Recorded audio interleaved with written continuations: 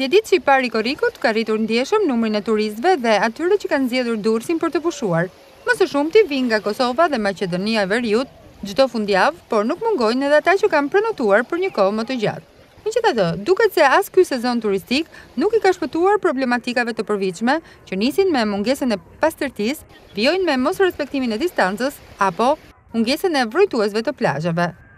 Kthimi vlen Për të përmendur që ka një çik neglizhim. Vende-vende janë distanca të rregullta, ca nuk janë tamen. Duhet dhe pak një pastërti. Ne jemi shumë afër njëri me tjetri. Problem me ndotjen ka shumë.